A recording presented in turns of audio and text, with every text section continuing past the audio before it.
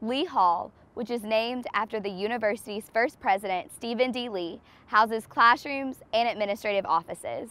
The newly renovated Bettersworth Auditorium is also located in Lee Hall, serving as a venue for numerous events, including lectures from world renowned speakers to Billboard chart musicians. Now that you've seen most of the heart of campus, let's take a moment to relax at the Chapel of Memories.